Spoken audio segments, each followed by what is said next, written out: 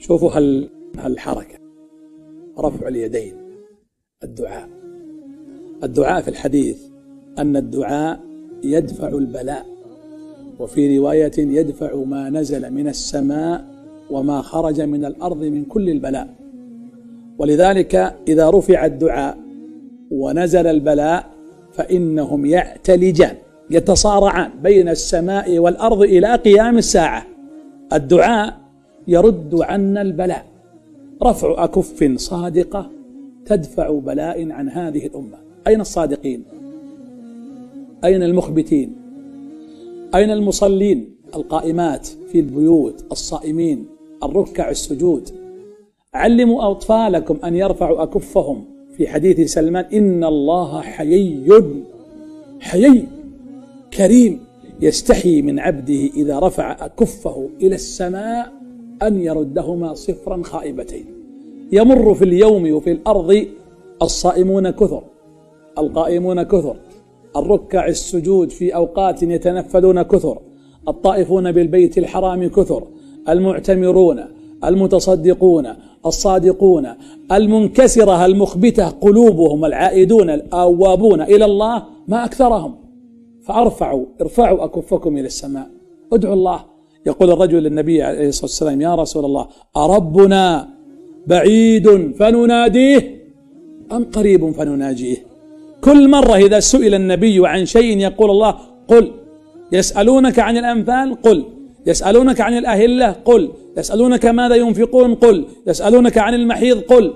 إلا لما قال وإذا سألك عبادي عني ما قال قل. قال وإذا سألك عبادي عني أنا أجيب مباشرة فإني قريب. قريب أجيب دعوة الداعي إذا دعاني. لاحظوا ما قال أجيب دعوة المؤمن ولا دعوة حافظ القرآن ولا دعوة اللي فقط يصلي. لا شك هؤلاء لهم فضل وقد يكونون إلى الله أقرب. لكن أجيب دعوة الداعي عموم الداعي. كل من دعا الله تبارك وتعالى استجاب الله له. فألح وخاصة في وقت الإضطرار. والحاجة والافتقار إليه. يا جماعة حنا في في كرب وفي شدة. فلولا إذ جاءهم بأسنا تضرعوا. نتضرع إلى الله في حال انكسار رغبة في أن الله يعطينا. ليش الله جل وعلا جعل أسماءه كثيرة؟ النبي صلى الله عليه وسلم أخبر أن له تسعة وتسعين اسما. من أحصاها أحصاها هنا مو بمعنى عدها. يعني فهمها من عرف الآمر هانت عليه الأوامر من أحصاها دخل الجنة. الذي يحصي يعرف ليش الله يختم أغلب آياته ومواعظه في القرآن الكريم سبحانه وتعالى بأسمائه الحسنى. لا تكاد تمر على صفحة في المصحف إلا العليم السميع الفتاح الرزاق الباسط الأول الآخر الظاهر. لماذا؟ تختم بالرحيم الرحمن العفو الغفور. كلها حتى يقول هذا أنا أنا ربكم الأعلى أنا الله. ولذلك اللهم إنا نسألك باسمك الأعظم ووجهك الأكرم وعطيتك الجزلة أسألك باسمك أسألك بأسمائك الحسنى وصفاتك العلى. أسألك بكل اسم هو لك سميت به نفسك أو أنزلته في كتابك أو علمته أحدا من خلقك أو استأثرت به في علم الغيب عندك أن تجعل القرآن العظيم ربيع قلوبنا ونور صدورنا وجلاء همومنا. حتى قال النبي لعبد الله بن مسعود لما قال أو نتعلموها قال نعم تعلموها وعلموها. نتعلم أن ندعو الله بأسمائه وندعوه سبحانه وتعالى في السراء والضراء. ندعوه عندنا مواطن إجابة كثيرة.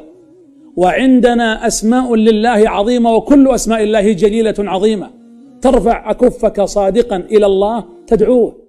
أم سلمة أو أم سليم أقبلت على النبي يا رسول الله أصابها هم وكرب تريد من النبي أن يدلها على طريق ودعاء يستجيب الله لها دعواتها. فقال قولي الله أكبر عشرة الله أكبر الله أكبر الله أكبر الله أكبر. واحمد الله عشرة الحمد لله الحمد لله الحمد لله. وسبحيه عشرة سبحان الله سبحان الله سبحان الله. ثم ادعي ربك بما شئت فيقول الله قد فعلت قد فعلت قد فعلت.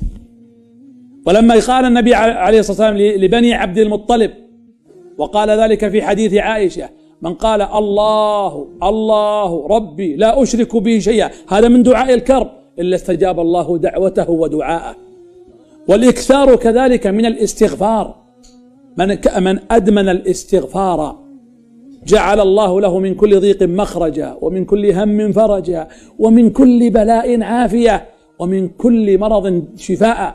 ولذلك استغفر الله. إنه كان غفارا. جاء رجل إلى النبي عليه الصلاة والسلام وقال يا رسول الله إني أريد مالا. قال استغفر الله. وجاء الثاني واشتكى إني أريد أولادا. قال استغفر الله. وجاء الآخر يشكو ما يحدث في زروعه. إن الزرع لا ينبت. قال استغفر الله. الله يقول فقلت استغفروا ربكم إنه كان غفارا. يرسل السماء عليكم مدرارا. ويمددكم بأموال وبنين ويجعل لكم جنات ويجعل لكم أنهارا. لا إله إلا أنت سبحانك إني كنت من الظالمين. هذه دعوة من؟ دعوة ذنون.